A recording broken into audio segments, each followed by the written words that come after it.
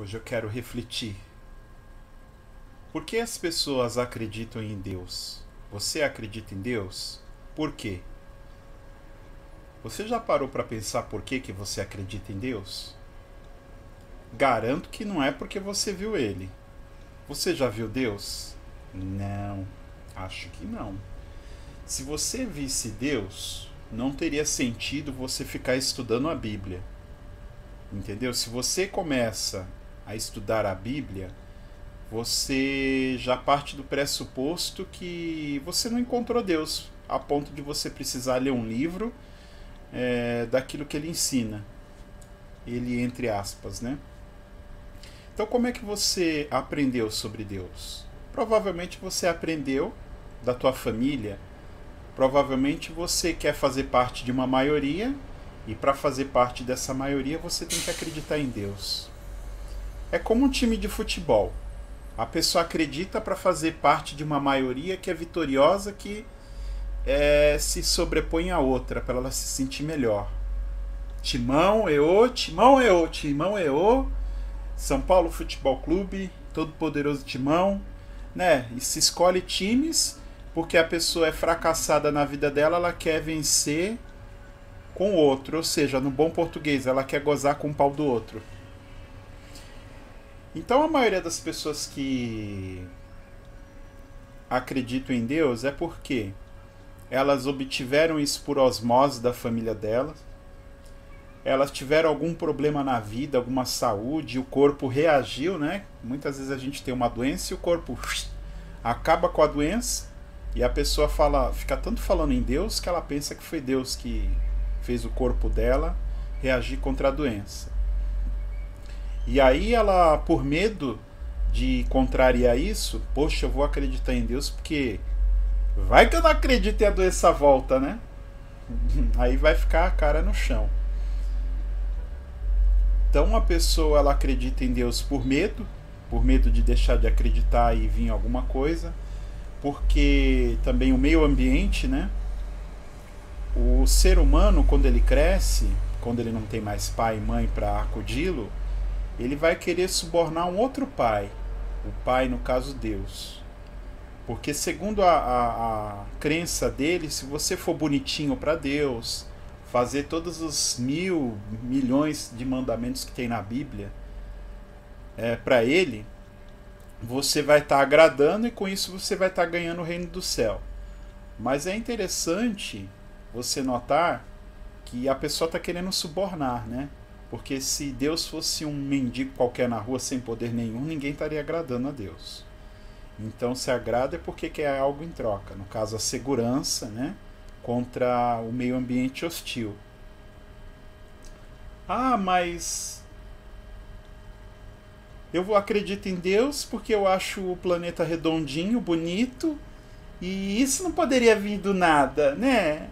Olha a posição que o mundo está em relação ao Sol. Então é aquela coisa, né, da poça d'água que acha o buraco perfeito porque ela cabe lá, né?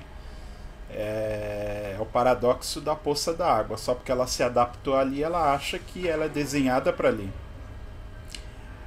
Uh, e é estranho porque você vê essas pessoas falando assim: ah, mas como é que você acha que a vida veio do nada, todas as coisas, a casinha, a vaquinha, a aranha, o morceguinho, o pombinho veio do nada.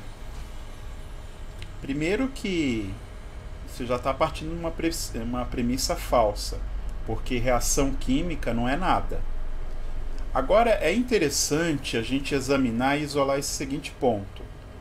Vocês são extremamente contrários a nós que somos ateus, a achar que as coisas vieram aleatoriamente, ou como vocês querem falar do nada, e vocês aceitam de bom grado, de cabeça baixa, a hipótese de Deus também ter vindo do nada. Então é, chega a ser uma coisa semelhante, né? Porque eu critico o ateu que, segundo eu acho, ele acredita que as coisas veio do nada, mas o meu Deus também veio do nada. Ah, mas ele sempre existiu. Poxa, então qual a diferença também de eu falar que as reações químicas sempre existiram? Então quer dizer que o que eu acredito, né, como ateu, eu acredito que tudo veio de átomos aleatórios, não tenho como provar. Mas quer dizer que o que eu acredito não é viável e o que você acredita é viável, sendo que é a mesma coisa. Eu acredito que os átomos, a matéria sempre existiu, só se transformou. Você acredita que Deus sempre existiu. Deus é feito de alguma coisa, não é? Então pronto. Então as pessoas acreditam, se você for perguntar para uma pessoa por que, que ela acredita em Deus, é sempre respostas, você vai, ser, vai ter sempre respostas efusivas, é, é, efusivas não, perdão, evasivas, né? Ah, eu acredito em Deus porque eu li num livro, eu acredito em Deus porque eu sinto que isso é gostoso, então eu vou acreditar em Deus né, lá dentro de mim sente que é gostoso, eu vou acreditar. É tipo aquela pessoa que se apaixonou por uma pessoa linda, maravilhosa, ela fica toda sorrindo, alegre quando essa pessoa chega por perto, mas a pessoa não tá nem aí para ela. Mas ela acredita naquilo, ela se sente bem com aquilo, é um direito dela. É... Outros porque acreditam porque tiveram coincidências, né? Ai, se Deus existir, nesse exato momento vai passar uma pomba em cima de mim e vai cagar. E cagou, ela acreditou em Deus. Ou seja, o viés confirmatório. O que é o viés confirmatório? A pessoa, ela de um milhão de evidências, ela pega só as evidências que corroboram que ela acredita. E aí ela fica acreditando para sempre. Existiu aquela, aquilo que ela achou que existiu para acreditar em Deus? Pode até ter existido, mas ela não viu as outras coisas que ela deixou de estudar. Por exemplo, ai, eu me recuperei, foi um milagre, isso prova que Deus existe. Bom, a pessoa deveria entender que o corpo humano ele reage a vários fatores contrários a nós o tempo inteiro. Nem por isso ninguém sai dizendo que só porque o teu corpo está vivo é porque Deus existe. Tem muita gente que não acredita em nada, pega a doença e a doença vai embora. E outra coisa, você falar, a pessoa falar que Deus existe porque está vivo, onde é que a vida tem um carimbo falando made in good, made in God? Onde está escrito isso? Feito por Deus? Não tem. E mesmo assim, se você for lá pegar a Bíblia, tem muita gente, ah, porque está na Bíblia escrito. Primeiro, papel aceita qualquer coisa escrita. Até eu poderia ter escrito um livro. É, vocês vão falar, ah, mas mentira não dura. Dura. Temos várias obras de arte, os Lusíadas, é, essas epopeias, essas coisas escritas em livros que duram até hoje. Romeu e Julieta. Sempre tem um pouquinho de verdade misturado com mentira para o povo engolir. Mas são coisas mentirosas que duram até hoje. A arte, né, o cinema, a novela a gente gosta e dura até hoje. E é feita em cima de mentira. 90% de mentira nem por isso existe. Então, você falar que uma coisa só porque ela existe faz tempo e por isso ela é verdade, isso aí é falácia. Melhor, a melhor forma de se mentir é misturar a verdade com mentira. Então é isso, gente. Eu gostaria de convidar vocês a pensarem por que, que vocês acreditam em Deus. Eu estou aqui provando que Deus não existe, não. Estou refletindo. Por que, que a pessoa acredita em Deus? porque alguém falou, porque estava escrito num livro, porque ela sentiu que tinha que,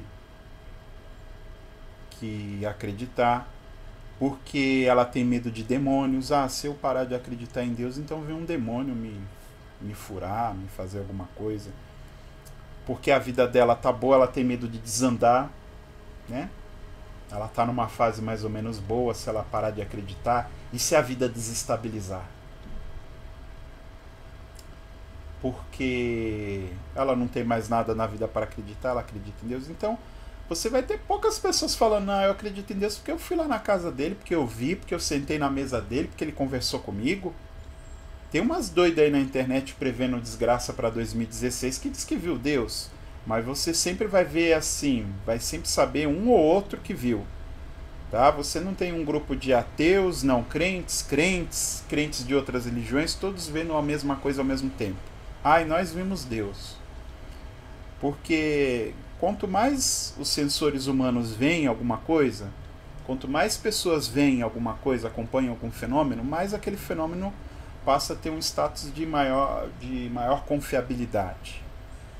Agora, um ou outro vê, e eu tenho que acreditar naquele um ou outro, porra, no tempo da Bíblia, se você for pegar a Bíblia, Deus saía falando a torta direito com um monte de gente e agora parou.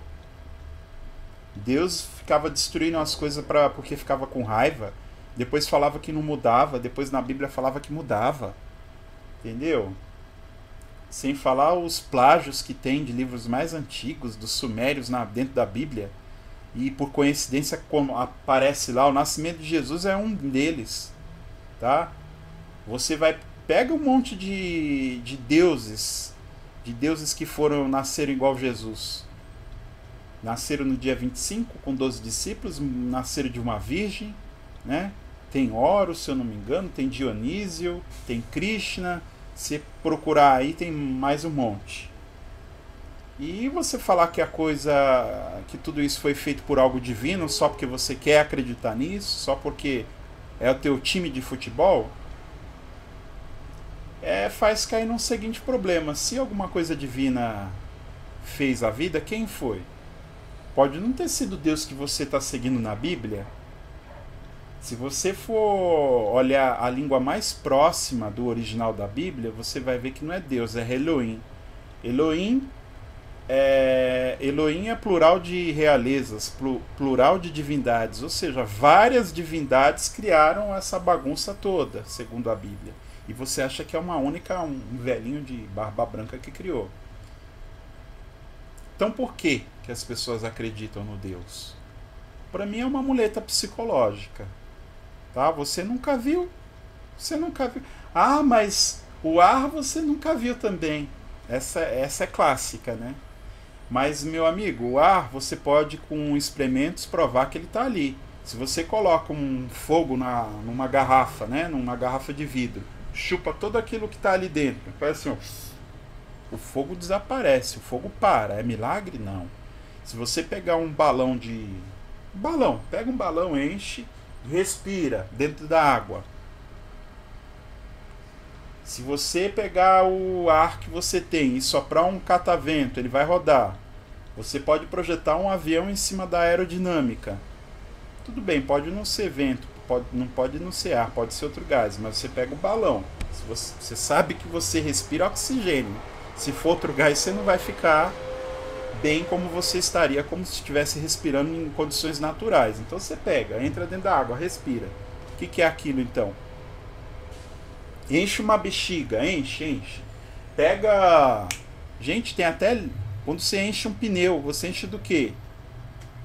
Tem outras reações químicas que você pode comprovar que o que você está aqui é, interagindo é o ar. Tem outras formas de você entender esse modelo do oxigênio e fazer com que você construa, construa coisas para manipular as propriedades desse oxigênio para usar a seu favor. E com Deus tem isso? Não tem. Você consegue encher uma bexiga com Deus? Você consegue manipular as propriedades de Deus para você construir um modelo e provar que ele existe, prevendo o que, que vai acontecer com as características dele? Não. Você não consegue. Com ar a gente consegue. Então não é porque meu olho não vê o ar que os meus outros sentidos também não vão ver, gente. Bom, vou parando porque é aqui, porque o YouTube só quer agora vídeos de 15 minutos. Eu gostaria de mandar um beijo na boca de das entidades, das nosso lar, dos Chico Xavier, dos Deus, dos Jesus, dos diabo, dos Buda, do Tupã, do Poseidon, todos esses deusinhos, tá? Mandar um beijinho para todos vocês. E é isso, gente. Por isso não provoque, é cor de rosa choque.